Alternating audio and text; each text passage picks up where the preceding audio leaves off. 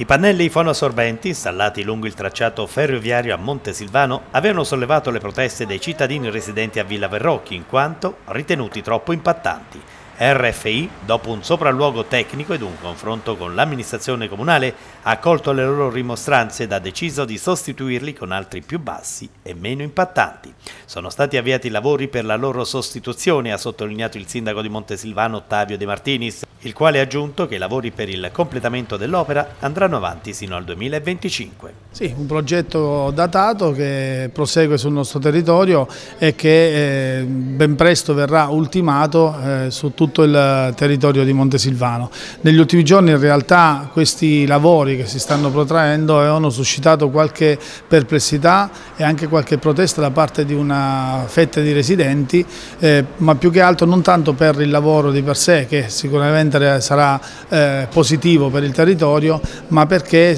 si era pensato di posizionare dei pannelli molto impattanti e non quelli trasparenti che invece rendono eh, sia un servizio da un punto di vista acustico ma che rendono il territorio meno ecco, impattato da un punto di vista visivo. E con, eh, attraverso un'interlocuzione con RFI si è giunti a una conclusione eh, tale da poter accontentare appunto questa richiesta e quindi oltre a proseguire i lavori avranno anche eh, insomma, un esito favorevole da punto, dal punto di vista della, della cittadinanza. Sul territorio di Montesilvano sono in corso i lavori per l'installazione di pannelli fonoassorbenti che andranno ad isolare dall'inquinamento acustico oltre due chilometri del tracciato ferroviario da via Perlasca sino al cavalcavia di via Verrotti.